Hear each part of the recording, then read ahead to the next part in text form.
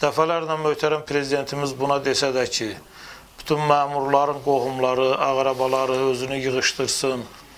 Biraz mən kətçi balasıyam deyim, belə deyirəm, lotuluq eləməsin, delavoyluq eləməsinlər.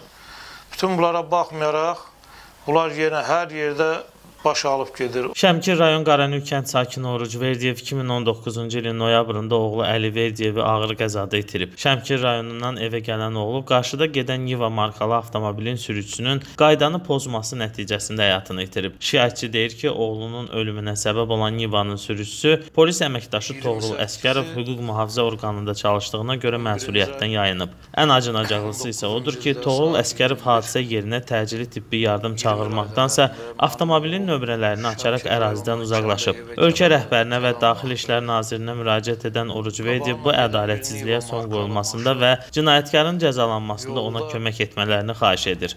28-i 11-ci ay 19-cu ildə saat 21 20 radələrində mənim oğlum Şəmkir rayonundan kəndə evə gələrək gələn vaxtı Qabağından gedən bir Niva markalı maşın yolda palasa olan yerdə, dönmə qadağan olan yerdə dönüş eləyib və qarşıdan gələn maşına maneçilik törədərək qəza şəraiti yaradıb. Arxadan gələn 07 maşın Nivaya çırpılaraq mənim oğlum maşının üzərinə düşüb Oğlum yerindəcə keçirmişdi. Bütün bunlara baxmayaraq Niva markalı maşının sahibi polis əməkdaşı olduğuna görə mən onu tanıyıb eləmirəm. Deyilənə görə Tovuz rayonunda uqalovnik işləyir.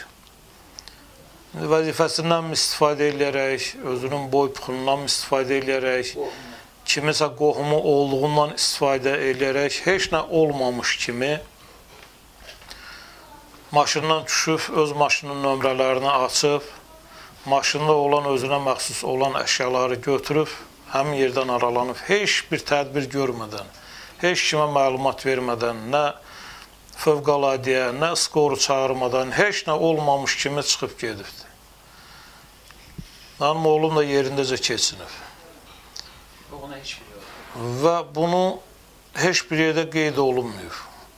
Mənim oğlum düşdüyü qəzadan qabaq olan qəzalar, sonra olan qəzalar hamısı bütün saytlarda göstərilir, hamısı bütün saytlarda yerləşdirilib. Bu da xüsusi tapşırıqdırmı, hər nədirmi deyə bilmərəm. Bircə onu bilirəm ki, polis əməkdaşı olduğuna görə yəqin ki, paqonuna güvənib. Heç bir yerdə bu hadisə elə bil heç olmamış kimi heç bir yerdə qeydə alınmıyor.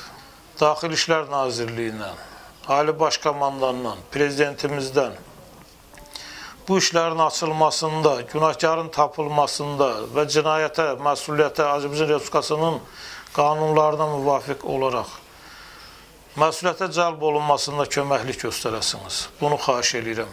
Kanal 13 olaraq məsələ ilə bağlı qarşı tərəfin mövqeyini işıqlandırmağa hazırıq.